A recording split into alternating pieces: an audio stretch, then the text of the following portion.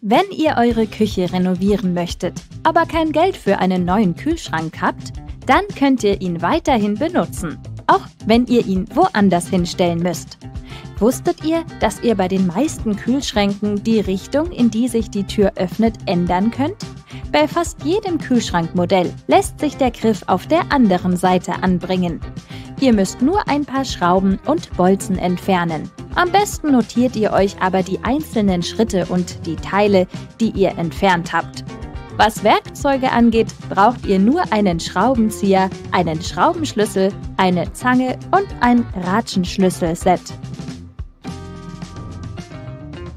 Es gibt eine einfache Methode, das meiste aus euren Zitrusfrüchten herauszuholen. Und das Werkzeug dafür befindet sich vermutlich irgendwo in eurer Küche. Vergesst teure Entsafter. Auch das gute alte Muskelschmalz braucht ihr nicht. Wenn ihr das nächste Mal frischen Zitronensaft braucht, benutzt einfach eine Küchenzange. Legt die Zitrone oder eine andere Zitrusfrucht in die Zange und drückt dann zu. So bekommt ihr im Handumdrehen den ganzen Saft. Apropos Früchte. Es gibt einen tollen Trick, um sie länger haltbar zu machen. Und dafür müsst ihr nicht unbedingt unreife Bananen kaufen. Legt sie in einen luftdichten Behälter und lagert sie im Kühlschrank. Je weniger Luft an die Frucht herankommt, desto länger hält sie. Was ist mit kleineren Früchten wie Erdbeeren? Aufgrund ihrer Oberfläche sind sie etwas schwer zu waschen. Hier ist ein netter Trick, um sie zu säubern. Mischt drei Tassen kaltes Wasser und eine Tasse Essig.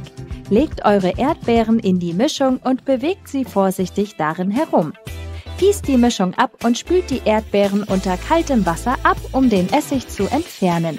Tupft sie dann mit sauberem Küchenpapier trocken. Legt sie dann in einen luftdichten Behälter und bewahrt sie im Kühlschrank auf, bis ihr sie esst. Ich bin mir fast sicher, dass ihr diesen Gegenstand euer ganzes Leben lang falsch benutzt habt. Aber das hab ich auch.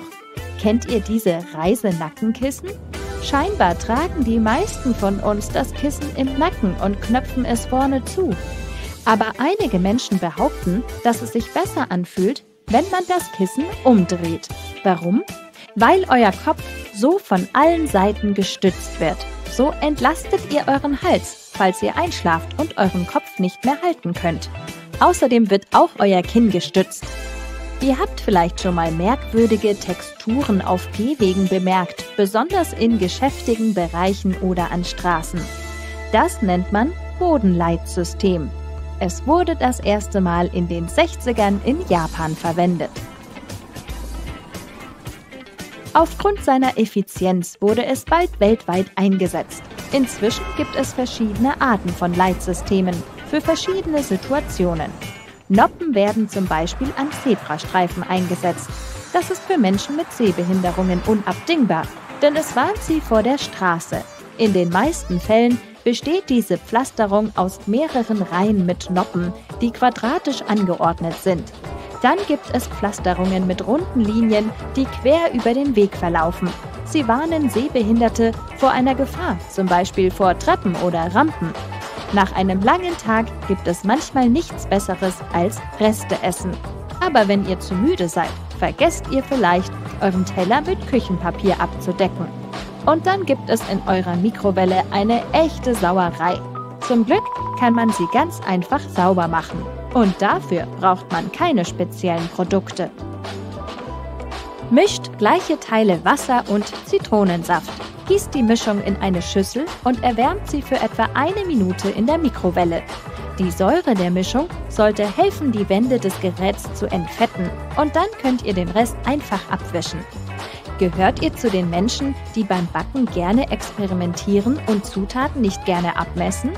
Wenn ihr das nächste Mal Mehl braucht, könnt ihr einfach einen Schneebesen verwenden. Wenn ihr den Schneebesen in die Mehltüte steckt, könnt ihr damit ganz einfach Mehl herausholen.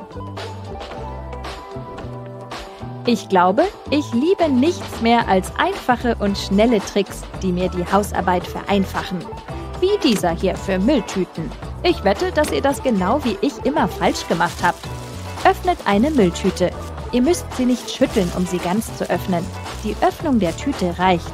Stülpt die Hast du dich schon mal gefragt, wozu diese zusätzlichen Löcher oben an deinen Laufschuhen dienen? Mit ihnen kannst du deine Schuhe mal anders binden. Das ist nützlich, wenn sie zum Beispiel enger sitzen müssen oder du mehr Platz für einen Zeh lassen musst. Außerdem kannst du so auch deine Schuhe individuell stylen. Nutzt du auch den Schutzumschlag des Buches als Lesezeichen?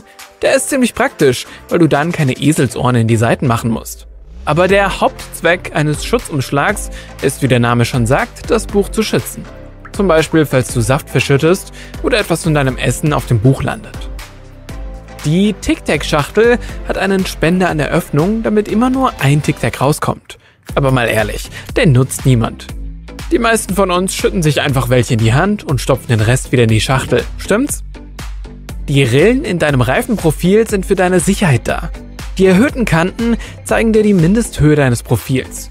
Sind die Rillen und Kanten auf gleicher Höhe, solltest du so schnell wie möglich zum Reifenhändler fahren. Liegen die Vertiefungen aber deutlich unter den Kanten, kannst du beruhigt weiterfahren. Was ist mit dem schwarzen Gitter an der Mikrowellentür? Es wird Faradayischer Schild genannt und verhindert, dass die Mikrowellen entweichen und das Zimmer in einen Faradayischen Käfig verwandeln. Falls Mikrowellen entweichen, wird übrigens dein Essen nicht richtig warm. Dein Gitter ist also nicht dazu da, dass du dein Essen nicht beobachten kannst, während es erwärmt wird, sondern hält die elektromagnetische Energie drin. Hast du einen Schraubenschlüssel-kompatiblen Schraubenzieher? Ja, hast du. Leg den Schraubenschlüssel an den Griff deines Schraubenziehers und schon erhöhst du sein Drehmoment. Das ist auch der Grund, warum der Griff des Schraubendrehers so aussieht. Wenn du schwer zugängliche Stellen hast, ist dieser Trick auch ziemlich hilfreich. Du hast bestimmt schon vom Mythos gehört, dass die blaue Seite des Radiergummis Kugelschreiber wegradiert, stimmt's? Aber das stimmt nicht. Die blaue Seite dient auch zum Wegradieren, aber für dickeres Papier. Mit der Seite kannst du aber auch die Reste vom rosa Radiergummi wegradieren. Hast du dich schon mal gefragt, warum Orangen in Supermärkten meistens in roten Netzen verkauft werden? Das ist ein Trick. Sie sehen dann nämlich kräftig orange aus und verleiten dich eher zum Kauf. Ich habe noch einen Tipp für dich. Wirf das Netz nicht weg. Du kannst daraus einen neuen Topfkratzer machen, dein Spülbecken und Küchengeräte reinigen und auch zum Abwaschen nutzen. Siehst du, wie perfekt rund dieser Golfball ist? Seine Oberfläche hat aber auch diese kleinen Grübchen. Die hatten Golfbälle nicht immer.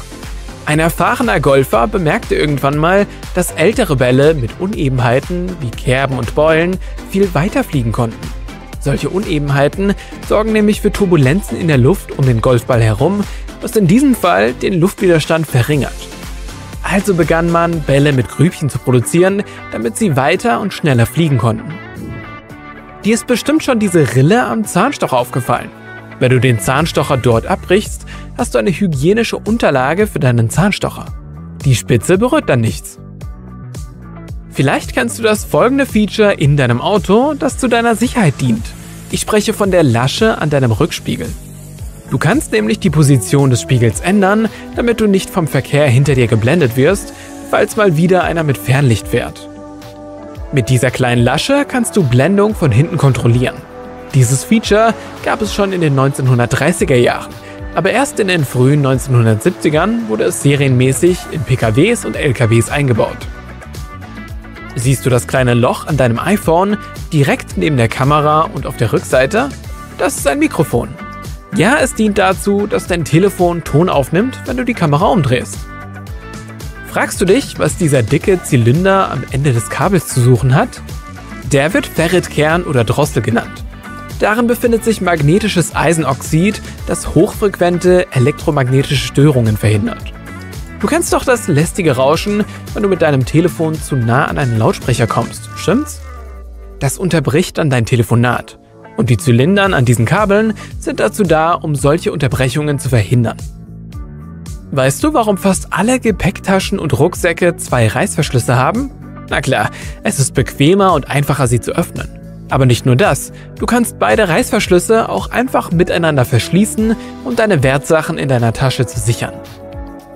Du kennst diese Lücke zwischen Boden und Klotür in öffentlichen Toiletten wie im Einkaufszentrum, oder? Damit kann die Luft besser zirkulieren. Dank der Lücke ist es auch einfacher, die Toilette zu reinigen und du siehst, ob besetzt ist.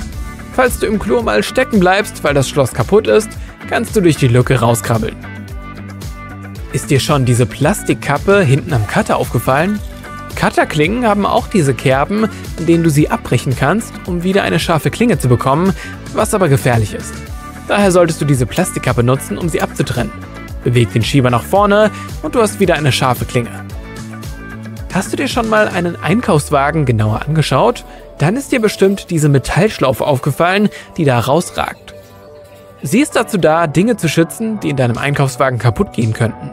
Hängen da Tüten mit weichen Lebensmitteln ran, die von schweren Produkten zerquetscht werden könnten. Oder die leicht zerbrechlichen Dinge wie Eier. Deine Kaffeetasse hat bestimmt auch diese Einkerbung am Boden, stimmt's? Stell deine Tasse schräg in den Geschirrspüler und kein Wasser sammelt sich am Boden und deine Lieblingstasse ist trocken, wenn du sie aus der Spülmaschine holst. Bist du ein McFlurry-Fan? Dann kennst du den Löffel, der ein quadratisches Loch im Griff hat. Das ist für die Maschine, die das Eis mit deinen Lieblingszutaten vermischt. Die Maschine hat einen Stab, auf den der viereckige Löffel gesteckt wird. Und dann wird das Eis schön umgerührt. Den Löffel bekommst du gleich mit, um den Prozess zu vereinfachen. Ganz schön clever, findest du nicht auch? Vielleicht kennst du die großen Milchkannen aus Plastik, die an einer Seite eine Delle haben. Diese Delle ist aber kein Designelement, sondern hat mehrere Funktionen. Einmal kann sie sich ausdehnen, wenn sich im Inneren Gas ansammelt. Das passiert, wenn die Milch sauer geworden ist. Du musst sie also nicht erst probieren, um das festzustellen. Außerdem ist die Delle ein Schutz, kann auch viel mehr, zum Beispiel deine Terrassenmöbel reinigen. Gib einfach etwas Spülmittel ins warme Wasser, wisch dann deine Gartenmöbel ab und anschließend spülst du sie mit dem Gartenschlauch ab. Mit Spülmittel bekommst du übrigens auch fettige Flecken aus deiner Kleidung raus. Ob Nudelsoße oder Salatdressing, alles tropft beim Essen. Mach dann einfach etwas Spülmittel auf den Fleck und spül ihn mit Wasser aus. Für helle Kleidung nimmst du aber lieber farblose Seife. Bei hartnäckigeren Flecken lässt du das Spülmittel einwirken und wäschst das Kleidungsstück dann wie gewohnt in der Waschmaschine. Hast du eigentlich schon mal drüber nachgedacht, dir ein Lätzchen zu besorgen? Du hast alles versucht, deinen Kleiderschrank in Ordnung zu bringen, aber du kommst mit diesen riesigen Klamottenstapeln nicht klar? Dagegen gibt's eine einfache Methode, die wirklich effektiv ist. Sie heißt One In, One Out. Das heißt, dass für jedes neue Kleidungsstück ein vorhandenes gehen muss. So einfach mistest du deinen Kleiderschrank aus. Für Ordnung im Kleiderschrank sorgst du, indem du die Kleidung, die du am häufigsten trägst, auf Augenhöhe aufbewahrst. Du findest leichter, was du suchst und kannst es schnell rausziehen, wenn du mal in Eile bist. Die Klamotten, die du seltener anziehst, beispielsweise deine Abendgarderobe oder dein Lätzchen, bewahrst du in den Regalen über oder unter Augenhöhe auf. Alte Blechdosen kannst du gut gebrauchen. Wenn du starke Magnete innen an die Dose machst, dann kannst du sie als magnetische Box nutzen. Dort passen alle möglichen Alltagsgegenstände rein, beispielsweise Küchenzangen, Eisportionierer oder auch Besteck. Und sie halten an allen metallischen Oberflächen, also auch an deiner Kühlschranktür. Versteckt in der Waschküche gibt es etwas, das perfekt gegen Tierhaare hilft. Damit klappt's manchmal sogar besser als mit der Fusselrolle. Schnapp dir ein Trocknertuch und mit etwas Ellenbogeneinsatz wirst du Hunde- und Katzenhaare im Handumdrehen los. Damit geht's auf fast allen Oberflächen, aber besonders gut auf Polstermöbeln. Nervt dich auch die quietschende Tür, wenn du ins Zimmer gehst? Dann hol dir ein Stück Seife und reibe sie an den Scharnieren entlang. Das hilft aber nur eine Weile, aber immerhin so lange, bis du es zum Baumarkt geschafft hast, um Öl zu kaufen. Hast du in Aufzügen schon den Stern neben einer Etagennummer gesehen? Nein, der zeigt nicht an, wo der VIP-Bereich ist. Der Stern zeigt, auf welcher Etage sich der nächste Ausgang befindet. Der muss nämlich nicht immer im ersten Stock sein. Meistens weist er auf die Etage hin, die der Straße am nächsten liegt. Hast du dich schon mal gefragt, warum Stoppschilder rot sind? Früher hatten sie keine bestimmte Farbe. Vor den 20er Jahren hatten sie nicht mal eine einheitliche Form. Erst 1922 erfand jemand das Achteck. Aber anfangs war es gelb gestrichen. Was auch daran lag, dass die Sonne die rote Farbe so schnell ausgebleicht hatte. Daher war gelb die beste Option. Es dauerte etwa 30 Jahre, bis die ausbleichsichere Emailfarbe erfunden wurde Und dann wurden die Stoppschilder wieder rot. Immerhin ist rot die beste Farbe, um etwas gut sichtbar zu machen, oder? Es gibt eine Rosenart, die wird größer als Menschen. Laut Guinness Buch der Weltrekorde wuchs der höchste Rosenstrauch, von dem man weiß, in Wien in Österreich. Er war sage und schreibe 28,5 Meter hoch. Ja, das ist eine stattliche Größe. Dass wir alle einzigartige Fingerabdrücke haben, weißt du ja, aber dass Tiger einzigartige Streifen haben, ist nicht so bekannt. Naja, hauptsächlich hilft das auch nur den Leuten, die mit diesen Katzen arbeiten. Die Streifen helfen ihnen, die Tiger voneinander zu unterscheiden. Ich wette, du wusstest nicht, dass im Keller des Weißen Hauses ein Blumenladen ist. Dort werden die Blumenarrangements für all die Veranstaltungen angefertigt, die dort stattfinden. Es wird dich wahrscheinlich nicht überraschen, dass Pizza zu einer Art Grundnahrungsmittel geworden ist. Spitzenreiter im Verkehr von Pizza ist Amerika. Es heißt, dass dort jede Sekunde 350 Pizzen verkauft werden. Anders gesagt, pro Jahr verdrückt dort jeder 13 Kilo Pizza. In Deutschland liegt der durchschnittliche Jahreskonsum bei 7,6 Kilo pro Kopf. Weißt du, wie man Zitronensaft bekommt, ohne dass die Kerne im Getränk landen? Pass auf. Zuerst schneidest du sie in zwei Hälften und dann drückst du sie mit einer Küchenzange aus. Aber das spitze Ende zeigt nach unten. Der Saft fließt, aber die Kerne bleiben in der Zitrone. Ah, Limo passt gut zu Pizza. Ich bestelle mir jetzt eine Pizza.